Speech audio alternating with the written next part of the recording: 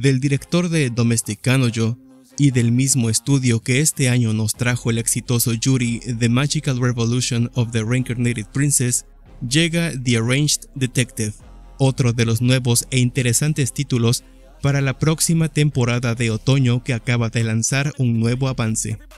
La serie es una adaptación del manga publicado desde 2020, el cual nos ubica con un policía novato quien tratará de resolver un fuerte caso de homicidio, no sin antes buscar la ayuda de uno de los detectives más prominentes de la policía, que por motivos desconocidos desapareció por completo de la escena pública.